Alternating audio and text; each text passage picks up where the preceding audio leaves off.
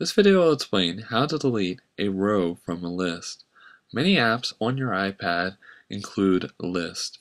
Some apps to mention are Mail, Messages, or another app with a list. A list is just a series of items.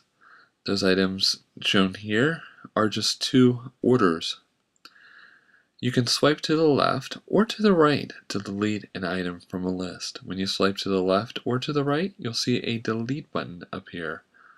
Some apps also include an edit button up in the left hand corner. If you press that edit button, that'll give you the option to press a dash next to the item and then choose delete. Once you press delete, that item will be removed from the row, as shown here.